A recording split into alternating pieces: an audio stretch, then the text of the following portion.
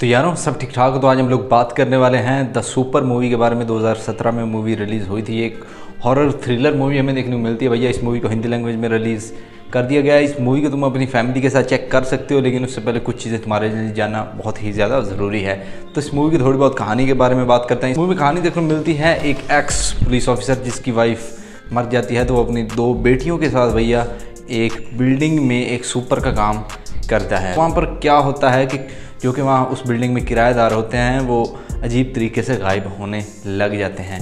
तो आखिर उसके पीछे क्या मिस्ट्री है, क्या तलक है, उसी चीज़ को जानने के लिए तुम्हें इस मूवी को देखना पड़ता है। ये इस मूवी की जो कि शुरुआत है, काफ़ी अच्छी देखने मिलती शुरू में ये एक सीन है एक टीचर और उसके भाई का जो कि कत्ल किया जाता है तो पता नहीं चलता कि उसके पीछे कोई बंदा है और थोड़ा सा भूतिया टाइप भी लगता है और जो कि स्लैशर मूवमेंट वहाँ पर हमें देखने मिलते हैं।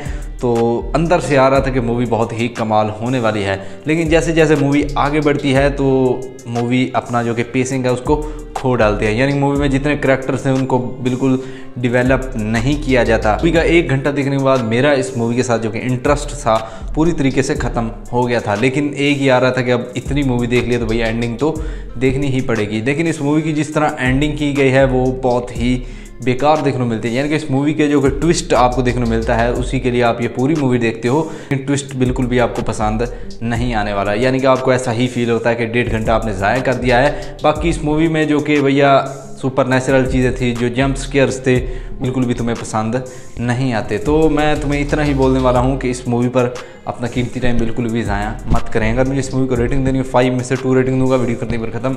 ऐसी वीडियोज़ देखने के लिए चैनल को सब्सक्राइब मार लो। मिलते हैं इस वीडियो में, तब तक अपना ख्याल रखिए। वीडियो देखने के लिए बहुत बहुत शुक्रिया।